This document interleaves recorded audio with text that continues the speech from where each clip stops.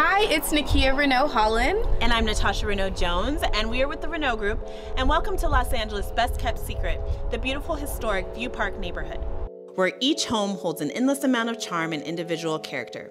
Once home to entertainment royalty Ray Charles, Tina Turner, among others, and currently home to some of Los Angeles' most prominent businessmen, women, and entrepreneurs, this coveted community commands the home shopper's presence. Step inside with us.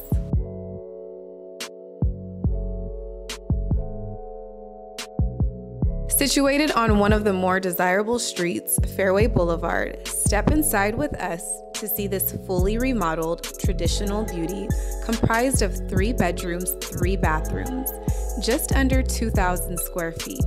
Open concept single level living at its finest.